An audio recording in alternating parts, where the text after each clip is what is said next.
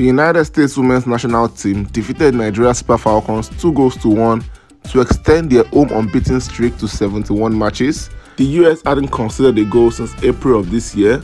However, Nigeria's Uchenna Kanu ended a shutdown streak after 10 games. I actually predicted the correct scores for this game.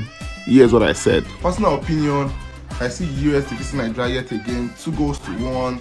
This will be a close one, unlike the 4-0 loss in the first leg. Following the win, the American celebrations continued on the field with the official signing of the historic first of its kind collective bargaining agreement, which aims to achieve true equal pay between the US women's national team and the US men's national team.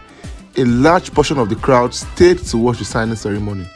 Nigeria will now face Japan on the 6th of October, while the United States will face England on the 7th of October to continue their preparations for next year's World Cup. Nigeria played better this time around against United States, losing only 2 goals to 1 compared to how we played in the first game where we lost 4 goals to nil. But I feel like there's still a lot of improvement this team has to make for us to do well in the World Cup. The World Cup is still next year. I like the fact that we are playing this type of international friendly games to expose us to high level competition. I just hope we are able to get the full squad around for most of these games going forward. We have lots of talented female Nigerian footballers playing in Nigeria and out of Nigeria as well. And I hope we are able to fuse all of this together and get our very best team for next year's World Cup.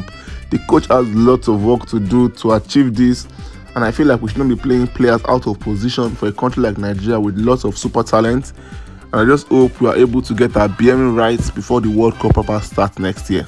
What are your thoughts, guys? I would like to know in the comments down below. Thanks for watching. Don't forget to subscribe to the channel, and as always, have a good day.